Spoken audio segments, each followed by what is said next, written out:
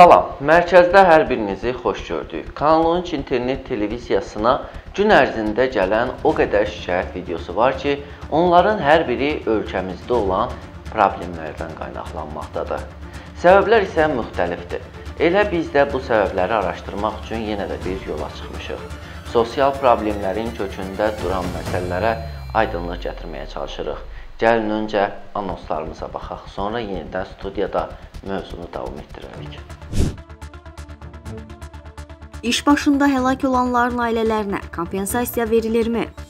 İstehsalat zamanı baş verən hadisələrə görə rəhbərlik necə məsuliyyət daşıyır? Qanunsuz parklanmanın qarşısı niyə alınmır? Gerdə qoyduğumuz 2021-ci ilin istehsalat qəzaları, bədbəxt hadisələri yadda qalmaqdadır. Lakin 2022-ci ildə ötən ildən geridə qalmaq niyyətində deyil. Mövzumuz istehsalat zamanı baş verən qəzalarla bağlıdır. Ötən günlərdə çörək sexlərinin birində faciəvi bir qəza yaşandı və həmin şəxs sexdə təmizlikçi işləyən bir qadın ehtiyatsızlıq ucbatından dünyasını dəyişdi. Ümumiyyətlə, bu hadisələrdə məsuliyyət kimin üzərinə düşür? İşçinin yoxsa işə götürənin mövzunu mütəxəssisləri ilə birgə araşdırmışıq. Gəlin reportajımızı izləyək. Beynəlxalq Əmək Təşkilatının statistikasına əsasən hər il dünyada 2,34 milyon işçi istehsalat qəzası nəticəsində həyatını itirir. 160 milyondan çox insan isə peşə xəstəliyinə məruz qalır. Araşdırmalar onu göstərir ki, hər il ölkəmizdə 200-dən artıq istehsalat qəzası baş verir. Bunun da 70-dən çoxu ölümlə, 100-dən çoxu isə müxtəlif bədən xəsarəti ilə nəticələnir. Elə ötən ilin dekabr ayında 2 şəxs istehsalat qəzasında həyatını itirib. Salyan sakini Xəyal Quliyev iş yerində başından aldığı zərbə nəticəsində 2 il komada qaldıqdan sonra dünyasını dəyişib. Dekabrın 16-sında isə Indigo şirkətində mətbə operatoru vəzifəsində çalışan 28 yaşlı Xəyal Təhməzov mətbəədə kağızların kəsilməsi üçün istifadə olunan aparatın arasında qalaraq həyatını itirib. Şəhərdə aparılan inşaat işlərinə baxış keçirdikdə tikinti zamanı təhlükəsizlik qaydalarından istifadə edilmədiyini görmək mümkündür. Təhlükəsizlik geyimləri olmadan hündürlükdə işləyən işçilərə də rast gəlmək olur. Bu da təbii ki, istehsalat zamanı ölüm və ağır yaralanmalara səbəb ola bilər.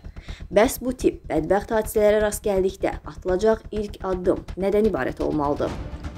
İstehsalatda baş verən bədbəxt hadisələr zamanı vətəndaşın təcili və təxirə salınmaz tibbi yardıma ehtiyacı olarsa, əlbəttə ki, bu xidmətlər zərfi çərçivəsində həyata keçirilir. Sonrakı mərhələdə vətəndaşın müayinə, müalicə və yaxud cərrahi əməliyyatlara ehtiyacı olarsa, xidmətlər zərfi çərçivəsində bu tibbi xidmət göstərilir. Nəzərinizə çatdırım ki, xidmətlər zərfi 2550 sayda tibbi xidmətdən e, ibarətdir. Buna görə də işə götürənlə işçi arasında sığorta müqaviləsi bağlanmalıdır. Bəs işə götürən bundan yayınmağa çalışsa, məsuliyyət daşıyırmı? Qəza zamanı işçi həyatını itiribsə, yəni ölüm hadisəsi yaşanıbsa, bu halda onun varislərinə sığorta ödənişi ödənilir. Əgər e, işə götürənlər öz işçilərini sözügedən sığorta növü üzrə sığortalamayıblarsa, bu zaman yenə də birinci halda, yəni işçinin əlilliklə nəticələnən bir qəza hadisəsi baş verdiyi halda işçinin özünə, yəni zərər çəkənə təzminat ödənməlidir. İkinci halda isə, yəni işçinin ölümü halında işçinin varislərinə təzminat ödənməlidir. Hüquqşünas vəkil Bəhruz Bayramov Kanal 13 açıqlamasında bildirib ki, belə hallar baş verdikdə dərhal cinayət işi açılır və əmək hüquqlarının pozulub-pozulmadığı araşdırılır. Bədbəxt hadisə baş verdiyi təqdirdə işə götürən bir gündə gec olmayaraq qanunvericilikdə müəyyən edilmiş qaydada müvafiq akt tərtib edirlər və eyni zamanda əmək müfəttişliyinə xəbər verirlər ehtiyatsızdan insan sağlamlığına ağır və az ağır zərər vurularsa ə, e, və eyni zamanda insanın işçinin ölümünə səbəb olarsa, Cinayət Məcəlləsinin 162-ci maddəsinə əsasən əməyin mühafizə qaydalarının pozma maddəsi ilə cinayət işi qaldırıla bilər. Buna görə də işçilər işə götürülərkən əmək müqaviləsini diqqətlə oxumalı, razılaşmadığı şərtlər varsa onları bildirməlidir şəraitində e, işçi hər hansı bir xəsarət alarsa, bununla bağlı o işə götürənə, e, sığorta şirkətinə müvafiq e, müraciətlərini edir. Əmək və Sahibinin Sosial Müdafiə Nazirliyinə birlikdə araşdırma aparırlar. Müvafiq rəy tərtib olunur. Həmin rəydə kim təqsir ucbatının baş verdiyi müəyyən olunur və nəticədə ödənicilərin verilib verilməməsini qərar alınır. Çox zaman işə götürənlər işçi xəsarət aldığı zaman məsuliyyəti üzərindən atmağa çalışır. Bu zaman işçi baş verən hadisənin sübutu üçün mütləq ondan akt tələb etməlidir. Bəzən isə belə olur ki, məhkəmədə bütün xərcləri qarşılayacağını vəd edən şirkət sahibi daha sonra vədinə əməl etməkdən imtina edir. Elə bu haqda kanalımıza keçən günlərdə bir video müraciət daxil olmuşdu. Gəlin təfərrüatları ilə şikayətçinin öz dilindən eşidək. Üçü işləmişdi. Bizə xəbər gəldi ki, bəs oğlunu tok vurub. Cavanşir tok vurub. Biz xəstəxanaya çatdıq ki, qoyublar stolun üstünə semaşkada. Bunu fotoşok eləyirlər belə.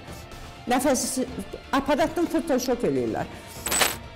Dedi ki, şirkət oğul sənindir, amma işçi mənimdir. Səndən qabaq xəstəni bura mən gətirmişəm. Nə lazım olsa mən özüm eləyəcəm, narahat olma. Amma dedi, bura polis gəlsə şikayət eləməyin ki, bizim başımız qarışa şikayətə, oğlunuz əlinizdən gedər. Dedim, biz mərdimazar adam deyilik. Sənli mənlə iş birləşək, oğlumu həyata qaytaraq. Mən mərdimazarlıq eləmək istəmirəm. İşdir də, iş qəzasıdır. Mənim oğlumun vəziyyəti getdikcə ağırlaşır. Atdığı dərmanlar qaraciyərində problem yaradır. Bayaqdan 250 min dollar lazım idi. Sən də qaraciyərdə bir tərəfdən problem yaradıbdır. Mən xəstəxanalarda qalmışam. Xəstəxanalar qəbul eləmir. Mən hər ay 1000 manat, 1200 manat oğlumun müalicəsinə pul ödəyirəm.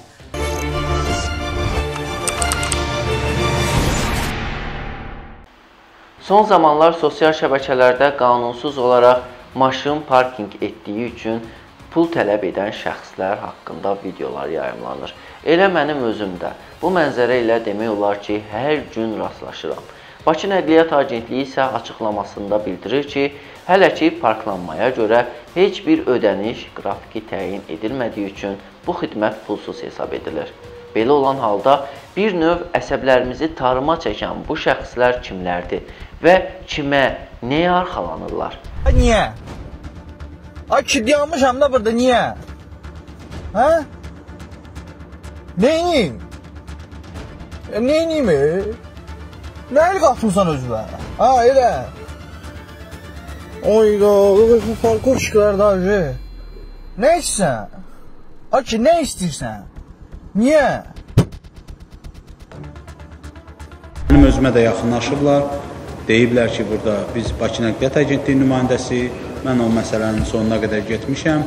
Axırı polisdə qutarıb və nəticə etibarından olub ki, deyilib ki, səhv eləmişik, belə-belə deyirik. Bu gün Bakı şəhərində kim küçədə 1 manat elə belə yığa bilər? Və yaxud da ki, e, belə çıxır ki, bu gün Bakı şəhərinin küçəsi, küçələrində hər hansı bir vətəndaşın əmlakına, daşınmaz əm, daşınan əmlakına ziyan vurulur və bu günahsız qalır. Burada biraz e, mənim bizim səlahiyyətlər çərçivəsinə çıxır. Rəsmi məsələ isə bundan ibarətdir ki, küçədə qalan parkovşiklər, arxasında duran himayədarlar var. Son zamanlar bir çox sürücünü bu məsələ maraqlandırır. Görəsən avtomobilin parklanmasına görə yığılan pullar niyə yığılır və kimin cibinə gedir?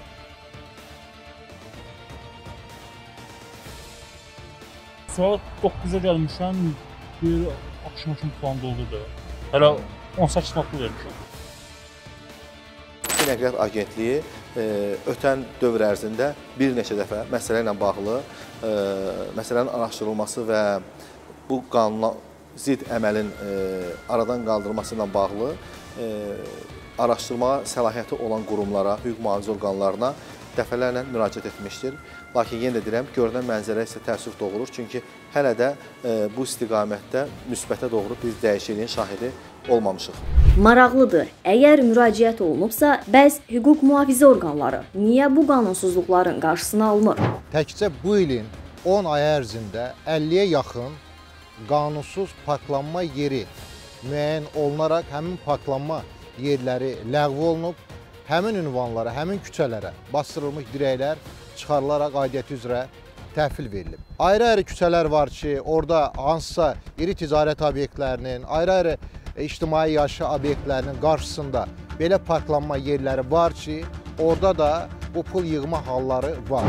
İndi belə çıxır ki, sürücülər öz avtomobillərini rahat saxlamaq və dırnaqarası təhlükəsizliyini qorumaq üçün kimlərəsə haqq vermək məcburiyyətindədirlər. Sosial şəbəkələrdə vətəndaşlardan birinin belə şəxslərdən biri ilə etdiyi danışığın video görüntüsü yayılıb. Asa parki, indi nədir? Çınar Park. Onlar alır gündə 100 manat. Lakin videoda adı çəkilən şirkətlə bağlı axtarışlarımız nəticəsiz qaldı. Səbəb isə bu şirkətin nə saytı, nə hüquqi ünvanı, nə də əlaqə vasitələri mövcud deyil. Nəqliyyat eksperti Elməddin Muradlı isə bu şirkətin qanunsuz fəaliyyəti haqqında danışaraq bildirib ki, şirkətin müqaviləsi çoxdan öz qüvvəsini itirib. Hacıbalı Abtalibovun dövründə hə, onunla müqavilə bağlayıb Bakı şəhərində 120 parkinq yerini icarəyə götürüb. 5 ildir bu səlahiyyət Bakı Nəqliyyat Agentliyinə verilib. Belədirsə artıq demək bunun o müqaviləsi avtomatik qüvvədən düşür. Yəni bunlar var. Amma baxın bu adamlar həm Bakı şəhər icra hakimiyyətinin keçmiş e, dövrdə xidmət edə, elədiyi parkinqlərə nəzarət etdiyi dövrdə əldə etdiyi bu e, xüsusi cihazlar var və bu avadanlıqlar bu gün həmin e, şəxslərin əlindədir.